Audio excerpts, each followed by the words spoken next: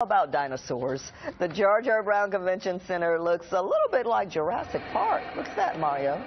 The look. The, Big, big reptiles. It's called Discover the Dinosaurs. It's an exhibit. It's back. More than 40 dinosaur replicas that move and roar. I've seen this before, and little kids love it. Yes, sometimes they run and hide behind dad or mom, but they love it.